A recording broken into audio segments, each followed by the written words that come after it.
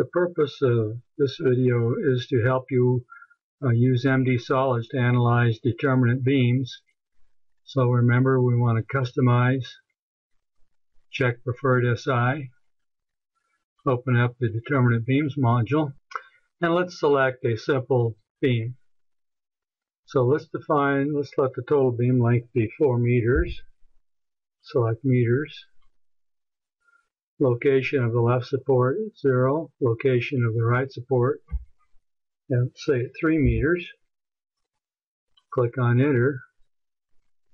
And now we have the diagram of the beam that we just defined. So let's add a point load.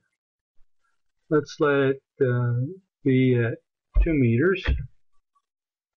And let's say it's a load of 6 kilonewtons. And we see 2 meters, we have a load of 6 kilonewtons, and we see the shear and moment diagrams for that load.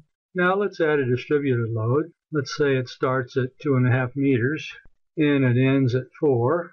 And let's say it's a 2 kilonewtons per meter distributed load. We enter that. Now we see we have the point load at P1 at 2 meters, the distributed load, and we see the shear diagram and the moment diagram corresponding to those, that load. Now let's add a, a uh, moment at the end. Let's say it's at the left end and it's 2 kilonewton meters. And we see now here's the load configuration. Here's the resulting shear diagram and the uh, consequent moment diagram. And now we've done an analysis uh, of a reasonably complex load on a simple beam. Now let's say we want to remove a load. We can do it this way. Undo the load. Or let's redo the load. We could go to edit and we can delete this load. Want to delete the distributed load. We can do that.